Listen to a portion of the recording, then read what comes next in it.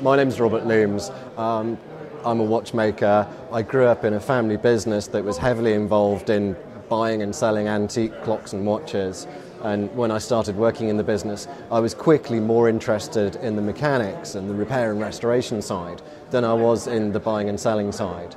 So I trained working not just with my father, but working with other watchmakers and clockmakers in the north of England, learning the trade. Um, I took a long time over it, but eventually qualified as a member of the Horological Institute, I suppose by the time I was 30. And about that time, I started playing making watches.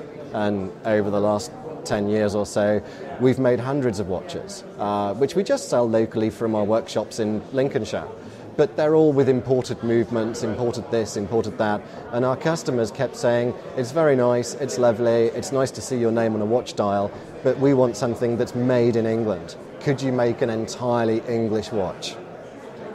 So the whole made in, made in England uh, idea is what drives the brand. Is that correct?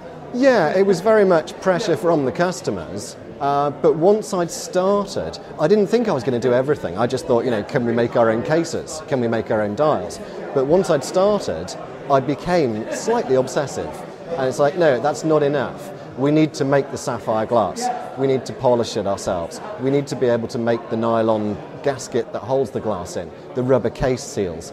And we don't make it all ourselves. What we do is we find companies who already have the right kind of expertise take them our designs and say, can you make this for us? And these companies are all in the UK? They're all English companies, yeah.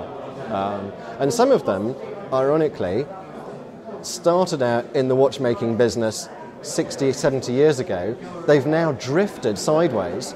So the guys who make our sapphires are really camera lens specialists. They make camera lenses for complicated cameras. But we knew as soon as we saw their workshop, we could use their machinery. In terms of the design, the look of the watches, what, what, what, how would you characterize it?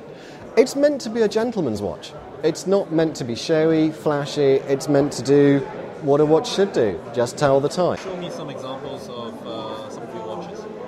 Yeah, if we look at these two, this is the first watch we made, this is the Robin. Each of these is intended as a limited edition of 100 pieces. This is the first entirely English watch we made. Um, and um, you know, it's Derby made case.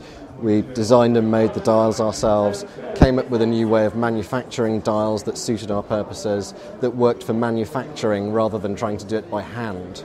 Um, what else can I say? Um, if I turn it over, it's a 60 year old Smith's mechanism, um, but what we've done with it is stripped it, completely rejeweled it, new mainspring, new hairspring, new sapphire jewels for a couple of parts of it, and carefully build it back together so that it's a far better thing than when these were first being made 40 years ago.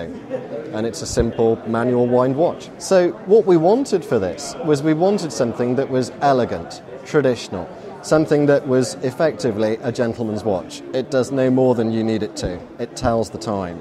Um, very plain, heat blued hands, frosted rhodium plated dial.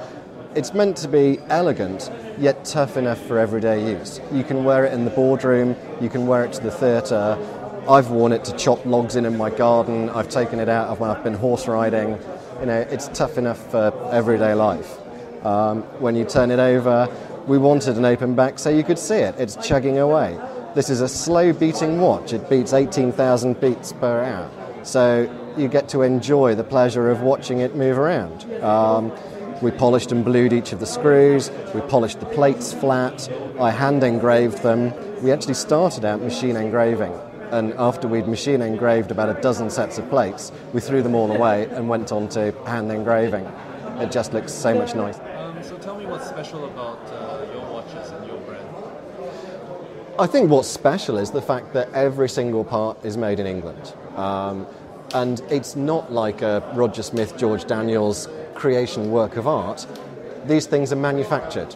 It's where we sit down, we do the designs, and then eventually at some point you can press the button and parts come off the conveyor belt. And then we can assemble them all in our workshops and start work on building a watch.